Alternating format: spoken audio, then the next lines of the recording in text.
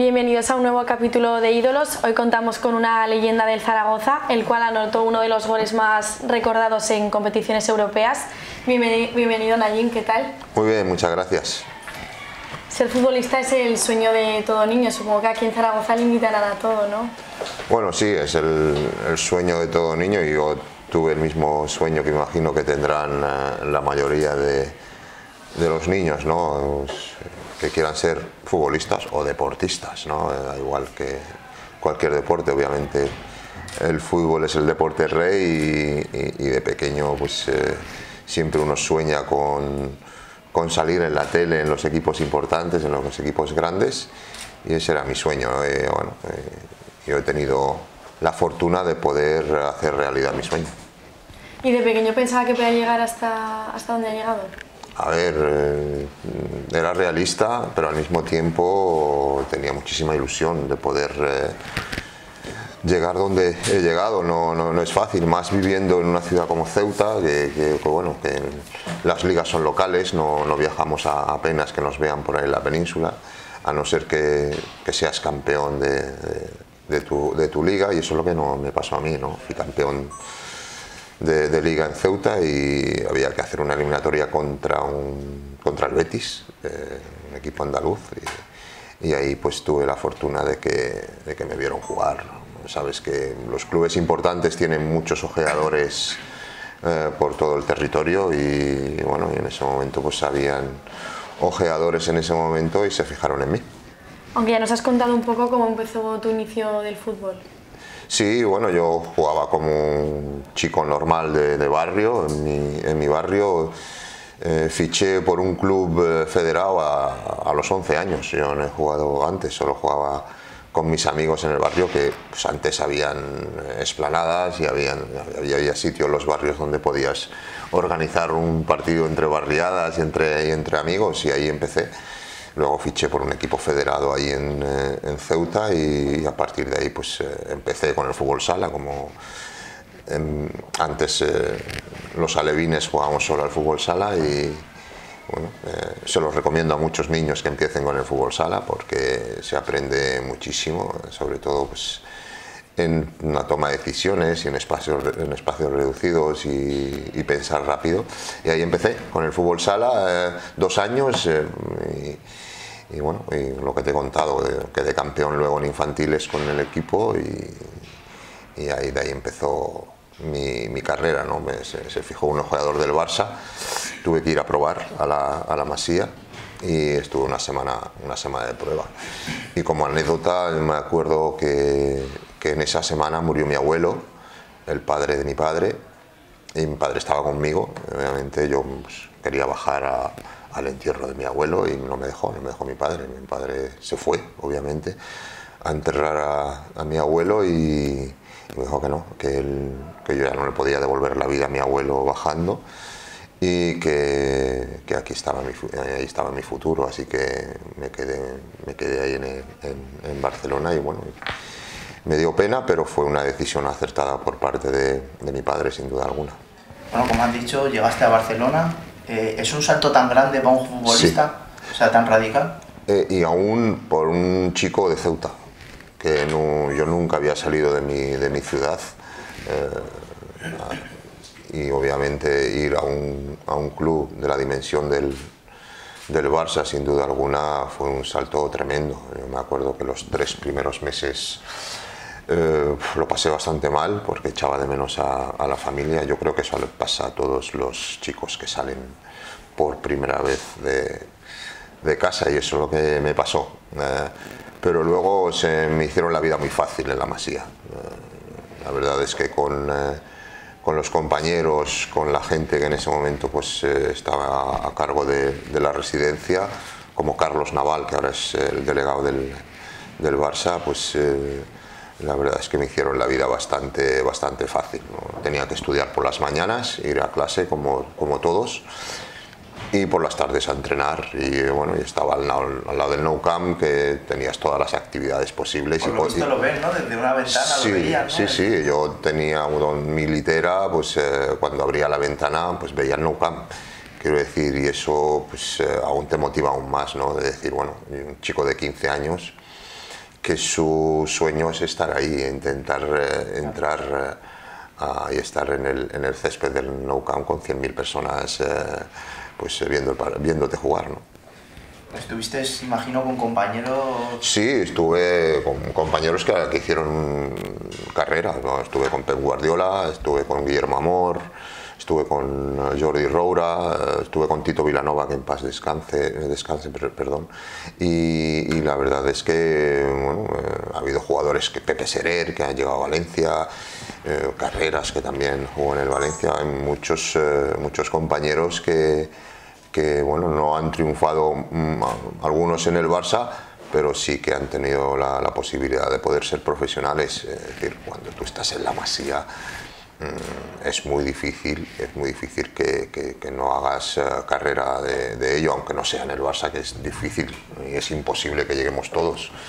Yo tuve la fortuna de, de llegar y, bueno, y como yo, pues eh, había cientos eh, cada año que venían a probar y e intentar pues, quitarte el, puesto. ¿no? Era una competición sana, era una competitividad sana dentro de la residencia. Nos llevamos muy bien y bueno, y cada uno al final eh, intentaba pues llegar cuanto antes al, al, primer equipo y bueno, yo tuve la suerte de ir por delante de mi edad, me subían de, de, categoría cada año y esa es la evolución que tiene que tener un crío hoy en día, ¿no? De que tú pues eh, a tu edad que juegues una categoría superior si eres lo suficientemente bueno o crean que eres lo suficientemente bueno. ¿Cómo era la relación con Guardiola? Porque lo han mencionado. Bueno, era, era sí, era un crío, era muy bajito, era muy bajito, eh, pero me acuerdo que, que mm, los mayores que estábamos en la residencia eh, intentábamos ir a verle jugar, porque era muy pequeñito, pero jugaba al fútbol, como luego ha demostrado, de, maravilla. Ver a un, chico menudo que manejaba los tiempos, que era un entrenador dentro del, campo ya con 11, 12 años, no sé qué edad tendría por ahí, pero vamos, esa es la diferencia entre él y yo, unos 4 o 5 años.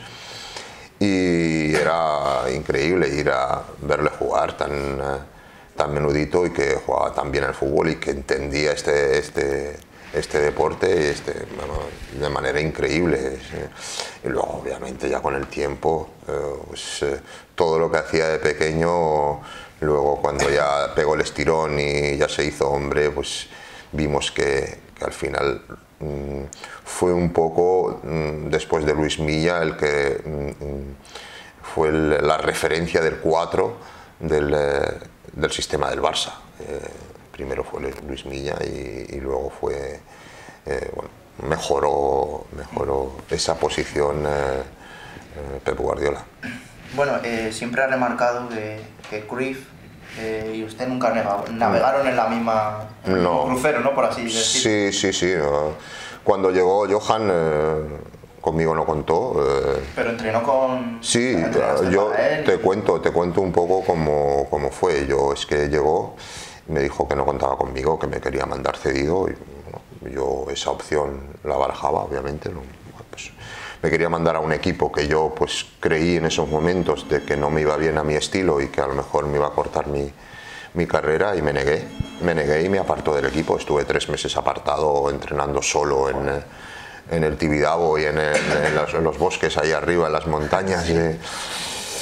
Bueno, fue una etapa muy, muy dura, durísima, hasta que tuve la fortuna de que el Tottenham, gracias a Terry Venables, que fue el, que me subió al primer equipo, y, bueno, y al final que tener esa pequeña suerte de que algún entrenador de, nivel le, le, gustes. Y yo tuve la suerte de que Terry se enteró de que estaba apartado del equipo, no lo entendía, y fue el que me, el que me rescató, el que me rescató y me, llamó para ir al Tottenham. Y fui cedido ese año, eh, hice una temporada muy buena y como allí la liga se acababa antes, pedí permiso para entrenar en el Barça. Y eh, pues yo estaba muy bien físicamente, ya me hice futbolista, realmente yo era buen jugador de fútbol, pero en Inglaterra ya me hice futbolista. Y empecé a entrenar con el primer equipo y estaba muy bien y bueno, y ese es el, tiempo que entrené con, eh, con, Johan. Y luego pues ahí están las hemerotecas. Tuve discrepancias con él porque le preguntaron que por qué la promesa de la Masía pues eh, me dejó escapar después del año que hice en Inglaterra y tal. Y bueno, él intentó,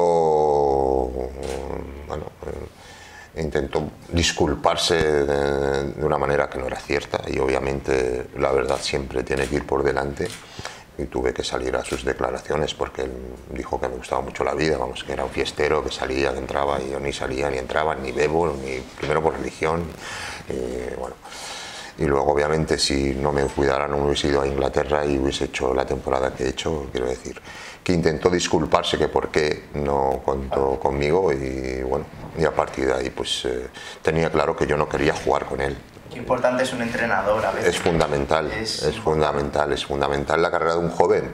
De que claro, porque ¿cuántos años tendrías? En yo tengo 21 años, yo me fui con 21 años a, a, Inglaterra, y era un, eh, suficientemente maduro porque al final yo no tenía ni representante ni nada, yo todas estas decisiones me las, tomaba. propias? Sí, Imagino las, tu familia también. Sí, pero sobre todo las tomaba yo, mi familia me apoyaba en todo y, sobre todo me las tomaba por dignidad.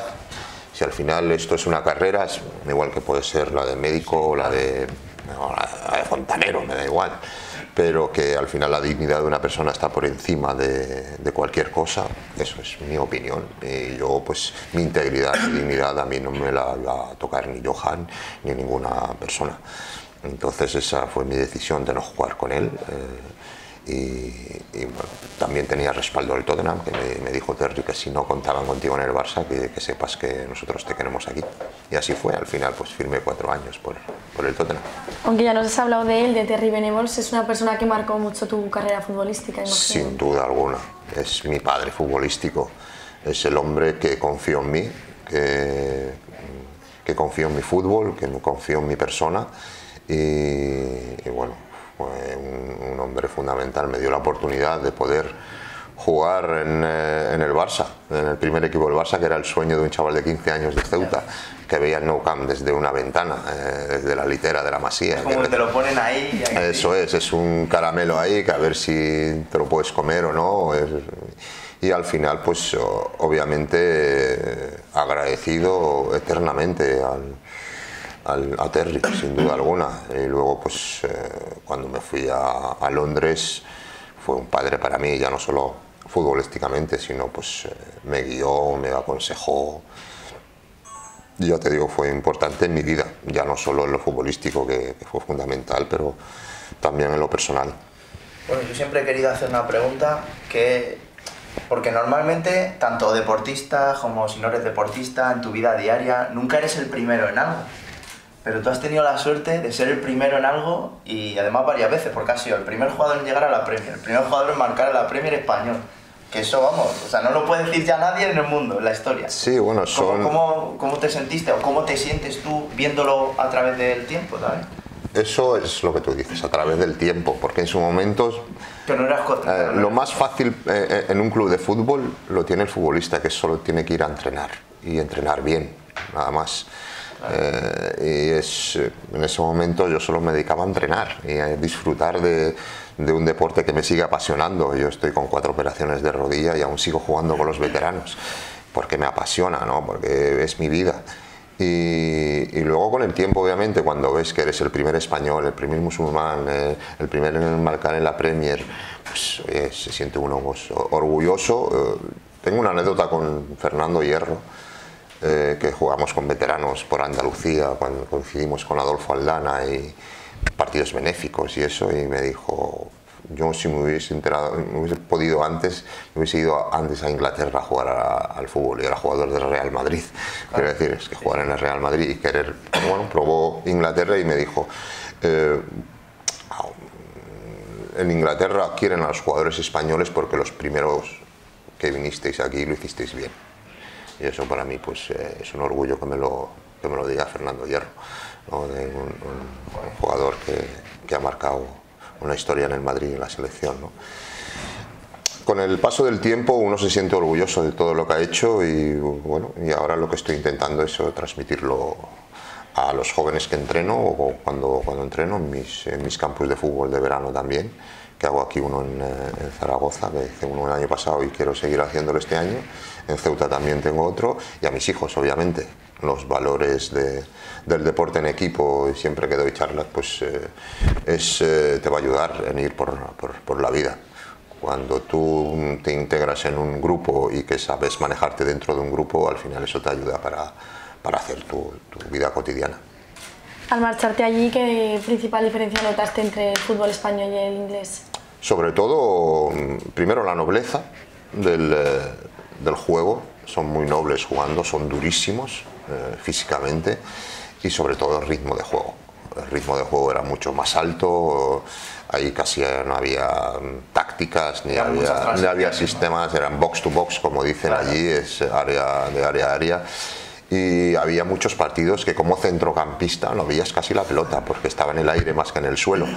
Y eso que fui a un equipo que trataba muy bien el balón que históricamente siempre el Tottenham y algún que otro equipo obviamente el Liverpool, Manchester United eh, y el Arsenal todos pues intentaban jugar por, eh, por abajo y yo tuve la suerte de ir a un equipo que, intentaba jugar, pero cuando te tocaba el Wimbledon o el Crystal Palace o equipos así, el Millwall, equipos eh, durísimos, campos que, y luego campos que no estaban en las condiciones que están ahora que ahí cuando llovía pues se embarraba. Yo me acuerdo con mi primer eh, partido fue contra el Southampton, fuera de casa. Marqué un gol de, falta, me acuerdo yo, que ganamos 0-2.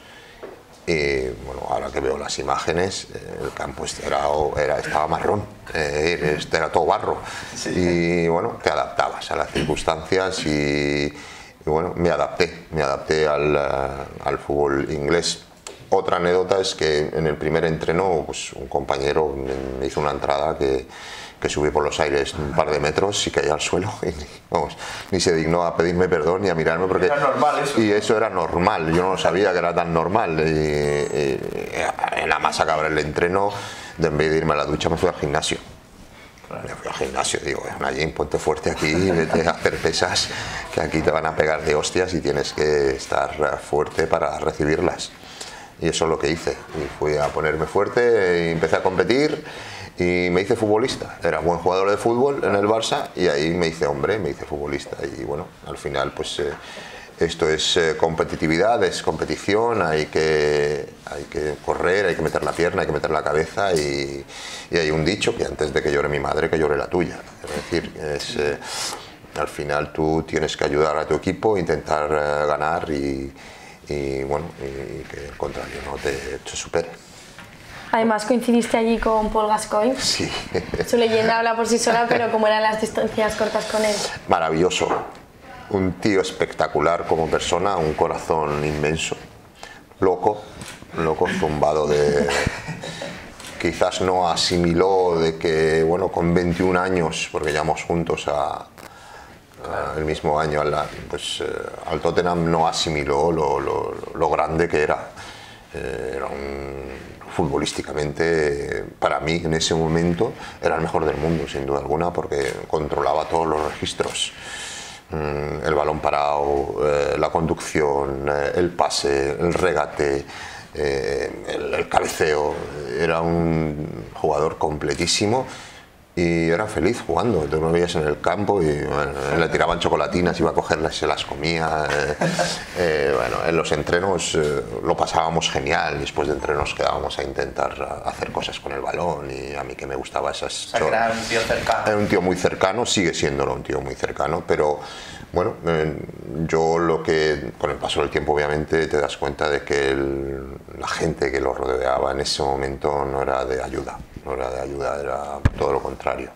Nosotros vivimos un hotel, cinco compañeros, eh, y él era uno, uno de ellos y obviamente eh, con 21 años tú te puedes permitir alguna fiesta que otra, pero llega un momento que el cuerpo no aguanta y, el hombre pues eso no, no, lo entendió porque ya digo, quizás le vino grande lo que realmente era Paul. Paul era el, ídolo de, de, de masas, pero no solo del Tottenham, sino de Inglaterra. Eh, todo el mundo la adoraba, jugaba la selección, eh, daba espectáculo, eh, era maravilloso verle jugar, era un show, partido tras partido. Y yo me acuerdo que cuando ganamos la FA Cup, el tío nos llevó a la final, nos llevó a la final él solo, él solo, como Snyder nos llevó aquí en el Zaragoza con sus goles a la, a la final, Gascón fue el hombre clave para para que nosotros podamos ganar, pudimos ganar la, la, final de la FA Cup en el 91. Bueno, alguna vi una entrevista que decías que le metiste, que le ayudaste a meter la cama y todo a Paul Gascoigne. Sí, sí, bueno, era... ¿Estuviste en alguna fiesta con él? No, no, en el hotel, en el hotel. yo, si yo de fiestas, eh, la verdad es que la noche no me gusta, no me gusta mucho. Eh, salgo, obviamente. pero era tanta pero, pero, pero no me iba a la cama, primero que no bebo, borracho ni me iba... Pero era un chico que, que bueno, que a veces pues eh, mm, tenía problemas de, bebidas y, acababa en mal estado. Pero lo curioso de todo eso es que al día siguiente digo, seguramente Paul no vaya a entrenar. muerto, claro. ¿qué dices? Si es que al final, ¿cómo que podía? Era el mejor. Llegaba y era el mejor en el entreno, pero claro, eso con 21 años. Claro. Llega una y eso con el paso del tiempo, pues eh, obviamente le pasó factura, pero digo, como persona encantador, maravilloso, eh, corazón inmenso, amigo de sus amigos, un compañero extraordinario, futbolista el mejor en su momento, pero en su vida privada, pues obviamente no es eh, de los ejemplos a seguir. Bueno, las dos últimas sobre Paul Gascoigne, que es una, lo más grave que le haya visto ver a Paul, por ejemplo, que sé, cualquier cosa, y otro, lo más increíble que le haya visto hacer en un campo de fútbol. A ver, lo más increíble, y, bueno, yo no sé cómo no acabó tan mal, fue un amigo común, que, un, un aficionado de los Spurs que venía todas las mañanas a ver el entreno él había comprado una, una caravana a su padre, la trajo al entreno.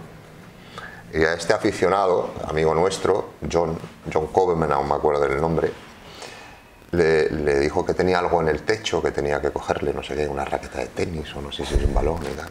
Y cuando iba subiendo con la escalera para cogerlo, arrancó y lo paseó por medio Londres y el tío colgado ahí, un, tío mayor ya, el tío con sus 60 años. O sea, que iba Paul conduciendo. Iba conduciendo, empezó a darle vueltas por la ciudad deportiva, salió y apareció al cuarto de hora, a 20 minutos, con el hombre, bueno, no lo mató de milagro. Eh. Son bromas de Paul, que hay muchas de, de estas de, de, Paul. Y luego en el campo de fútbol he visto hacer tantas cosas. He visto... Mm, bueno, sus conducciones que se llevaba la gente con una facilidad increíble en la estrategia, las faltas. Tú si ves vídeos en YouTube, ves cada falta de Paul.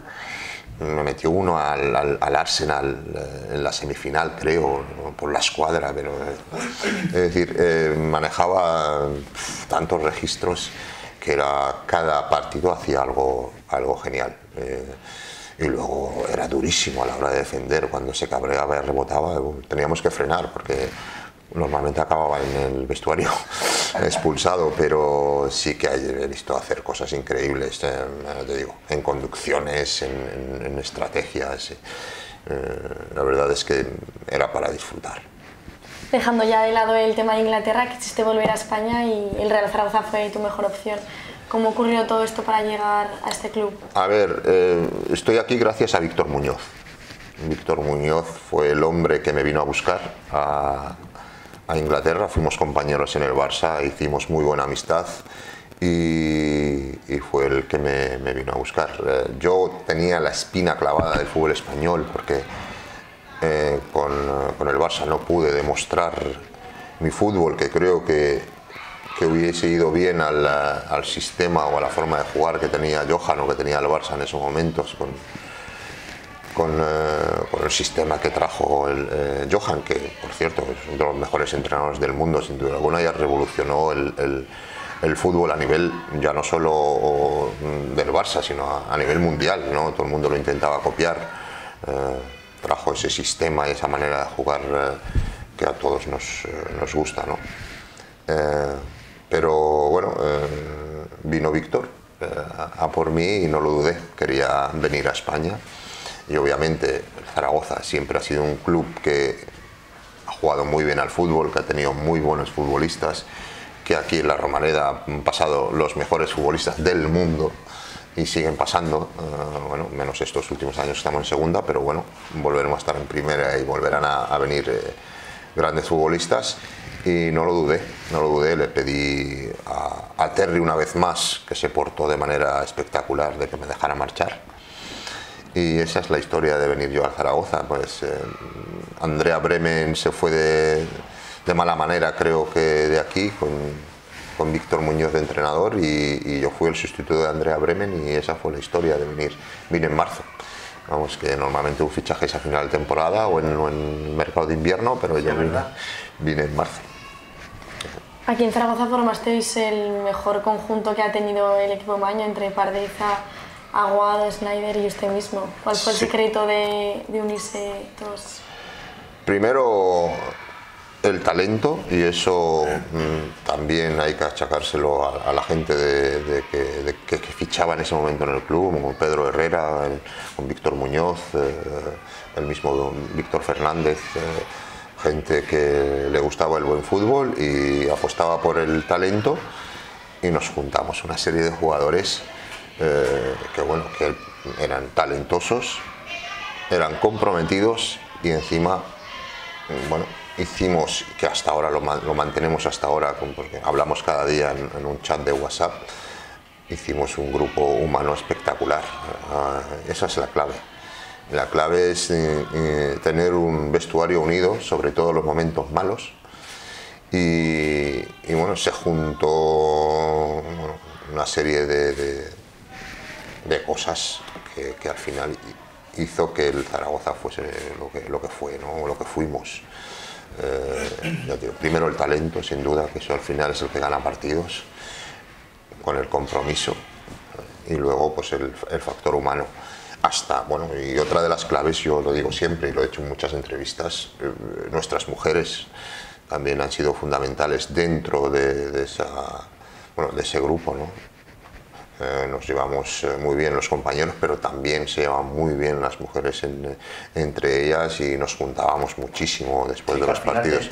Una familia. Y al final esto tú pues, casi Sí, convives más con tus compañeros que con tu mujer, pues entonces si involucras a tu mujer con tus compañeros, pues obviamente eso ya se convierte en una familia, ¿no? Con los críos y con, con todo y al final es eso, disfrutar dentro y fuera del campo.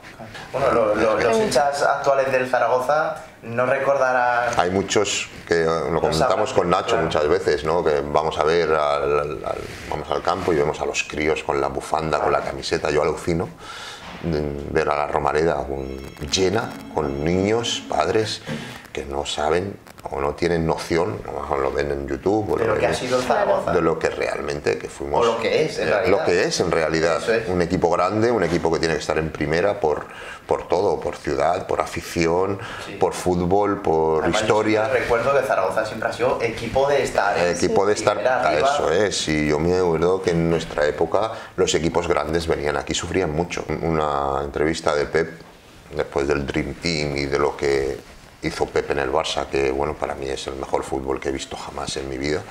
El, eh, fútbol que hacía el equipo de, Pep. Dijo que, que, bueno que sí que está muy bien que, que jugamos muy bien al fútbol pero hay precedentes. Y los precedentes uno de ellos era el Real Zaragoza de la Recopa. Y lo dijo lo dijo era que jugaba muy bien al fútbol que trataba muy bien el balón que defendía con el balón eh, que creaba muchas oportunidades de gol que era divertido verle jugar y y bueno, y eso pues es un halago, ¿no? Después que lo diga un, un tío que ha ganado un sextete y que ha hecho el fútbol que ha hecho, que para mí es el, el mejor fútbol que he visto en mi vida. De hecho, al año, que vi- al año siguiente eh, jugasteis la final contra el Celta, Sí. la ganasteis Sí. contra un Celta que recuerdo que estaba Carpi. Sí, era un eh, Celta importante. Era un, un Celta importante, sin duda alguna. Estaba Cañete de, de- de portero, Cañizares. Cañizares. Sí, se nos complicó esa final por la expulsión de, Santi empate, Aragón. Sí, empate, 0-0, 0-0. Luego de penalti. porque se, bueno, nos- nos- se nos complicó por la expulsión de Santi Aragón, pero luego pues en los penaltis eh, A ti te sabe bien, ¿no? había buenos, muy buenos lanzadores sobre todo, había muy buenos la- lanzadores. Falló el penalti mi amigo Alejo, que jugué con él en el Barça en las categorías inferiores, pero luego los cinco que tiramos eh, no fallamos. Es decir, eh, ¿Practicasteis eh, esa semana? Sí, normalmente antes de una final se practica, pero no mucho tampoco. Al final es la confianza de cada jugador y en, en- en el momento. Me acuerdo que fui el último en, en- en- en- en ser elegido. Me preguntaron por ahí, falta uno para tirar un penalti. Yo como estaba por ahí tomándome un, no una bebida isotónica, pues eh, digo, pues yo mismo. Ah, yo mismo, da igual, que al final si tienes confianza, pues... Eh, y me acuerdo que tiró Cáceres, tiró Darío Franco, tiré yo, tiró, me tiró Aurelio Gay y el último me lo tiró Paquete. Y lo marcamos los cinco. Vamos a pasar al momento más emocionante de tu carrera, que es el gol de, Sí. de la Recopa, hace 24 años ya. ¿Alguna vez imaginabas haber marcado un gol desde tan lejos? En sueños sí, muchas veces. Sueño de crío, eh, haces cosas increíbles, casi imposibles, ¿no? De- en sueños. Obviamente un sueño sí, pero la realidad al final cuando te haces profesional y sabes de qué va esto, eso ni, lo, ni, vamos, ni te lo imaginas. ¿no? Supera la ficción, ¿no? Eso es. Y más en el minuto que fue. Eso es, que al final es todas las poquitas fuerzas que me quedaban eran esas, ese golpeo, ese golpeo en el... Pero yo siempre digo, eh, tuve la fortuna de poder marcar un gol eh, que bueno, que hizo grande al Zaragoza, que puso al Zaragoza donde, donde se merecía, y, pero eh, insisto, gracias a mis compañeros. Bueno, este es un juego de equipo. Mis compañeros me dieron la oportunidad de llegar a esa situación, de poder meter un gol en el minuto 119 y 50 segundos. Es decir, es, es- es, eh, ni, ni- ni, vamos, ni en sueños, eso ni, ni pintado. Quiero decir que estabas tocado, eh, ese era tu día, el día de- de que bueno, Najim tenía que marcar. Yo no soy goleador, nunca he sido goleador. jugador centrocampista más asistente que, que goleador, sin duda alguna. No era un chico que pisaba mucho, un jugador que pisaba mucho el área. Pero bueno, tuve la fortuna de, de poder llegar a esa situación y como yo ya había jugado contra el Arsenal muchos años. Me tiré cinco en, el- en Inglaterra, sabía que jugaba muy adelantado el, el portero, por su, claro, David, por, por su defensa que era un poco lenta y, y él tenía que estar siempre pendiente de los balones a la espalda de y siempre estaba adelantado y bueno. Y curiosamente, y por, circunstancias del, del- del juego, que hay muchas, en ese segundo, en ese minuto, en ese último minuto, pues vi al portero adelantado. Cuando le golpeé, obviamente sentí que le había golpeado bien, pero tenía, necesitaba que el portero se equivocara un poco. Claro. Es decir, y él tardó esa décima de segundo reaccionar diciendo, hostia, Sí, que, que me viene un balón complicado, a ver cómo lo soluciono. Cuando reaccionó, pues no, no tenía solución, ya, ya estaba el balón eh, dentro. Has hablado un poco de- del destino de ese momento. Yo soy muy supersticioso. Y sí que es verdad que, que- que tú te levantas un día y a lo mejor hay un chip cambiado. Yo mi pregunta es, ¿cómo amaneciste ese día? ¿Notaste algo cambiado de principio hasta el final de ese día? El antes, Sí. antes. Eh, a ver, después de 24 años no me acuerdo exactamente. Claro. Yo me acuerdo que ese día fui al hotel de mi mujer, que se estaba quejando de la habitación. de- a los hoteles en París son eh, muy buenos, muy bonitos por fuera, por la recepción, y las habitaciones, pues eh, no estaba contenta y fui a solucionar el, el problema. Yo era un tipo, tampoco era un tipo que pensara mucho en, eh, o me ponía nervioso antes de los partidos o, o estar por la noche sin dormir porque era una final o intentaba llevar mi rutina normal eh, como un partido, un partido de liga y ahora no me acuerdo si tuve una sensación, eh, lo, lo que sí es que cuando empezó el partido, eh, me acuerdo yo que lo pasamos muy mal. Eh, decía, hostia, es que estamos en una final y ya la presión eh, se nota. Eh, no, no- tuvimos muy buena entrada de partido, los primeros 20-25 minutos fueron del, del Arsenal. Y al final, pues eh, hablamos entre unos cuantos jugadores y dijimos, chicos, tenemos que volver a ser nosotros mismos, a divertirnos, a pasarlo bien, que si ganamos bien y si perdemos también, porque llegar a una final ya es un éxito. Y, y bueno, y, y esa complicidad que siempre hemos tenido desde el principio, desde que empezamos a jugar y en partidos de liga o partidos amistosos, partidos de pretemporada, esa, esa seguridad en nosotros mismos, esa confianza de eh, uno en el otro, pues ya fuimos, eh, fuimos nosotros mismos. Al final creo que el partido se debió ganar antes y, bueno, no, no, no, he tenido la sensación antes de, tener, bueno, voy a ser el protagonista de, esta final, no, voy a intentar ayudar a mis compañeros como he hecho siempre. Al final, el profesional eh, eh, tiene que mantener ese niño que lleva dentro, eh, divertirse, pasarlo bien, pero al mismo tiempo esa exigencia que tiene el, hacer tu trabajo bien. Es decir, ya no solo con, el balón, sino también eh, sin balón. Y bueno, eh, fue una noche mágica, pero sin sensaciones así de antes de decir, bueno, estoy en el momento más importante de mi vida. No, no pensé, digo, voy a disfrutar yo solo pensé, voy a disfrutar y sobre todo voy a hacer intentar disfrutar a la gente que fue y sobre todo, sobre todo, voy a intentar que mi familia se sienta orgullosa de mí. Que si tú ves entrevistas de muchos jugadores o de muchos chicos, al final, eh, en los momentos malos, el que está a tu lado, en casa, en el sofá, con la cara larga, es tu familia, eh, que es la que te intenta animar y que te intenta pues, hacer que tu vida sea más fácil. Y eso es lo que al final uno es la motivación, la auténtica motivación creo de, casi todos los deportistas eh, profesionales. Es decir, que sobre todo pues, eh, de, jóvenes, ¿no? de que tu gente se sienta orgullosa de ti. Bueno, antes de pasar a varias preguntas de actualidad, en Ídolo siempre tenemos una pregunta que es obligada y es sobre Mágico González.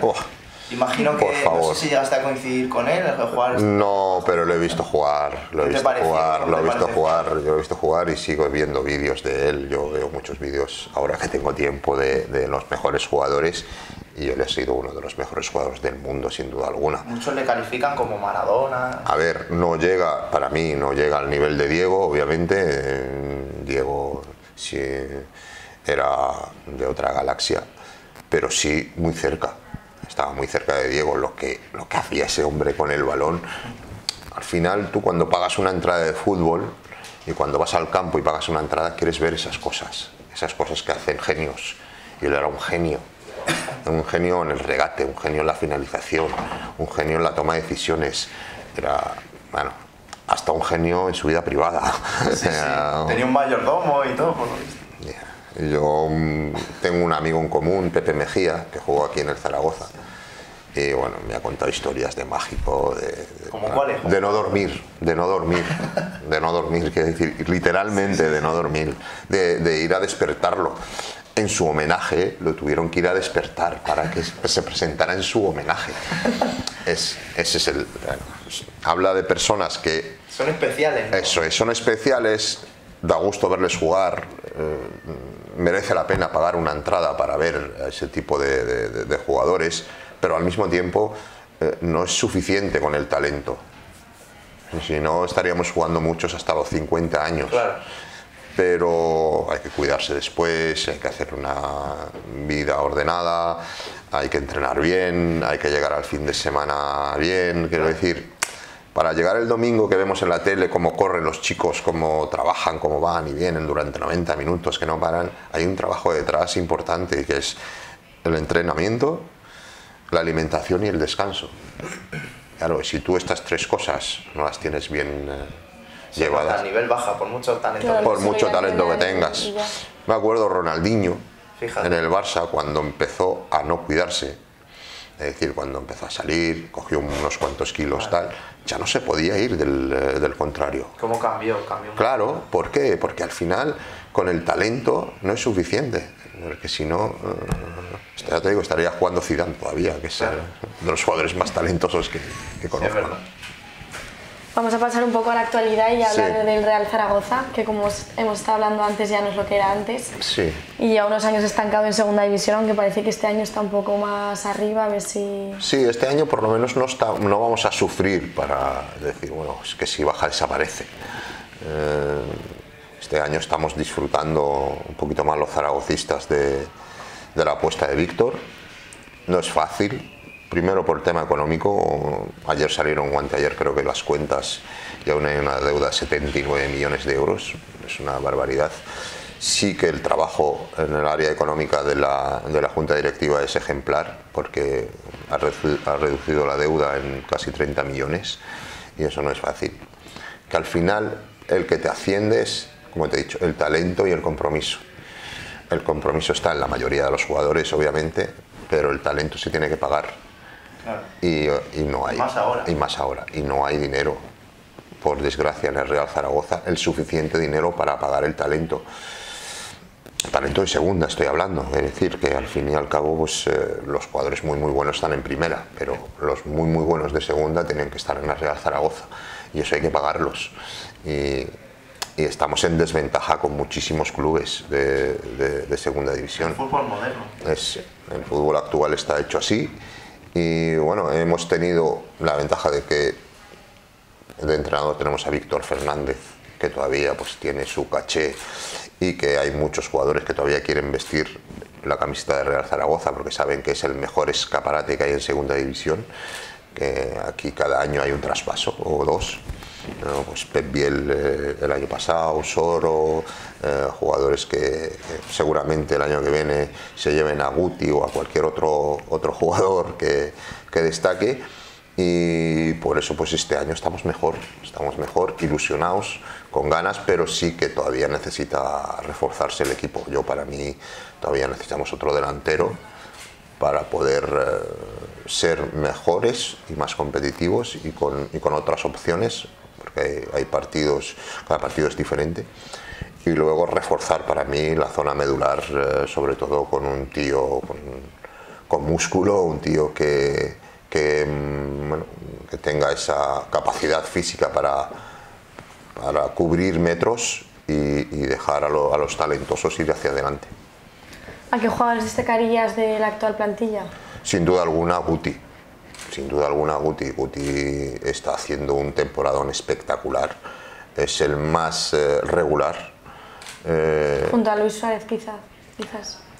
Sí, obviamente si tengo que ser más de uno también destacaría a Luis Suárez, sin duda alguna. Es un chico que está marcando gol, que ves que cada partido da el 100%, pero yo soy centrocampista ya, y al final, y, y al final tengo que, que, que, casi siempre miro a los, a los centrocampistas, sin menospreciar obviamente a los defensas y a los, y a los delanteros.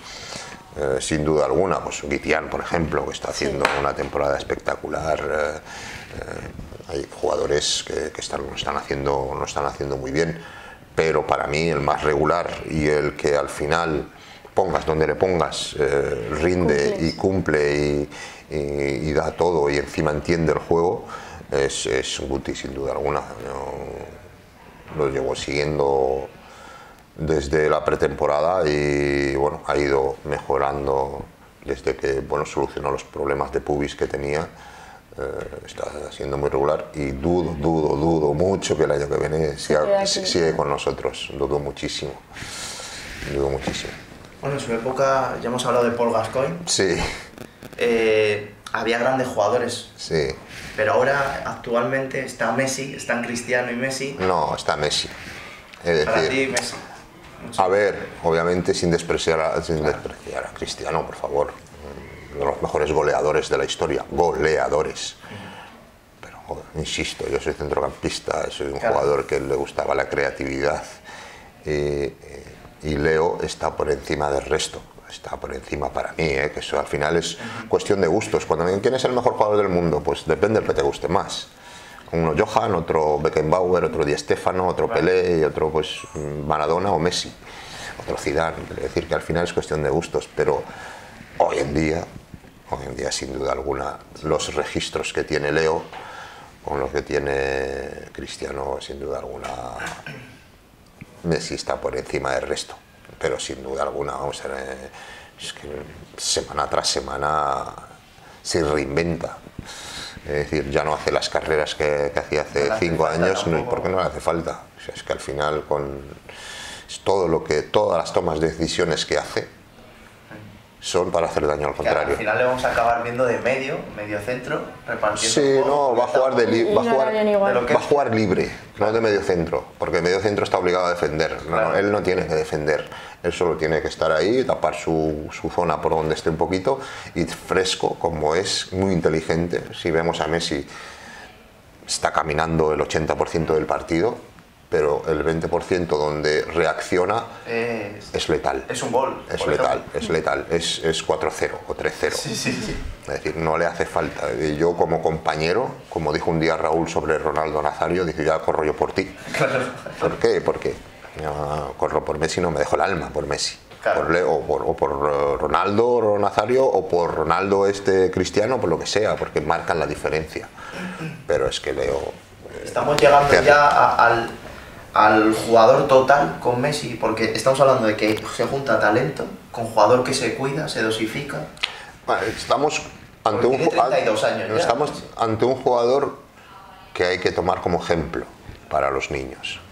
No es el jugador completo, porque Leo no lo hemos visto defender durante un partido durante 90 minutos. Ahora cuando defiende es el mejor defensor posible porque es intenso, es rápido, es listo, es inteligente y casi siempre cuando dice voy a ese balón se lo lleva.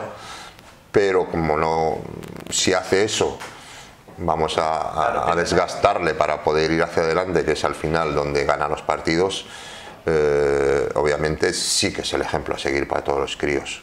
Eh, ves a un chico que llega de Argentina, eh, muy, muy, muy joven, que empieza a, a, bueno, en la masía a hacer carrera y, y que ha dado todos los pasos necesarios, eh, obviamente bien asesorado, porque también tiene un gente detrás que, que ha sabido asesorarle y bueno, y ahí está, pues un padre de familia con tres niños feliz y mm, ganando muchísimo dinero y, y haciendo disfrutar, ya no solo a los culés, o a los- el mundo, sino a todo el mundo. Quiero decir, yo soy culé y soy zaragocista, eh, pero cuando Zidane jugaba en el Madrid, a mí me encantaba ver al Real Madrid de Zidane porque al final yo me hacía los controles y lo que hacía y pues, eh, era un lujo. Al final los que jugamos al fútbol y los que nos gusta ese fútbol, da igual el, el jugador donde juegue, si en el Madrid, en el Barça, en el Bayern, en el Liverpool, donde sea, tú ves el arte y ves eh, el talento y, y lo disfrutas. Bueno, pues quedan dos preguntas más. Nah, Adelante. ¿Qué tal va? Bien, bien, bien, Justo. relajado, a gusto, tranquilo y hablando de esto puedo estar eh, todo el día, así que... Yo soy entrenador de fútbol Ah, muy bien. y mi pregunta es, eh, ¿qué le faltó a Nayib para ser entrenador? ¿O, o qué crees? A ver, decisión. En su momento, cuando me retiré de seguir, eh, me fui a Ceuta, me acomodé, mm, una vida tranquila, en familia y mm, bueno, en ese momento es donde uno tiene que empezar, sobre todo desde abajo, con la humildad suficiente de empezar pues, a aprender en las categorías inferiores, como empieza casi todo el mundo. Ahí vemos a, a Raúl como eh, ha empezado Xavi Alonso, pues Xavi Fernández, todos estos. eh, no lo decidí en su momento y eso pues al final si te acomodas pasa el tiempo pasa el tiempo pasa el tiempo sí que me involucré en el Ceuta en mi equipo eh, de mi ciudad en la tercera división y bueno ayudé a muchos estuve de segundo con muchísimos entrenadores todos los que han pasado por Ceuta pues eh, me querían de segundo y ahí pues eh, estuve ayudando al, a- pero como primer entrenador tú al final tienes que demostrarlo y desde abajo y empezar a, a crecer a partir de ahí. Es como un jugador de fútbol que empieza Claro. desde, a- desde Sí, es abajo. una etapa nueva, eso es intentar demostrar que, que- que- que vales para, para esto. Pero solo tienes que hacer nada más retirarte. Y yo pues ya te digo me fui a, a casa y ahí pues eh, quizás pues no teníamos los medios suficientes o no había equipos donde yo mm, pudiese pues, eh, aquí por ejemplo si me hubiese quedado en Zaragoza y, y hubiese empezado con el Alevín del Zaragoza o con el Benjamín o con el infantil o con el cadete o con lo que sea pues a lo mejor hubiese jugado a hubiese sido entrenador pero bueno esas son cosas que pasan en la vida que, que bueno son toma de decisiones y- y ya está Y ya para terminar, ¿algún mensaje que quieras dar a un jugador español que quiera ir a la Premier?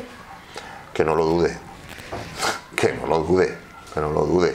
El que tenga posibilidad de poder ir a jugar a esa, liga, se lo aconsejo, pero vamos, sí o sí, es una gozada, es una gozada jugar en, unos ambientes increíbles, en unos estadios con un ambiente espectacular, ves a, la gente animando, el, fútbol es box to box, que es divertido, que es, eh, vamos, yo sin duda alguna, y siempre lo he dicho, eh, que el, cualquier jugador español que, quiera ah, jugar en el fútbol inglés, que no lo dude. Pues muchas gracias por la entrevista. Ha sido un placer, por favor, estoy muy a gusto. Muy bien. ¿Ok?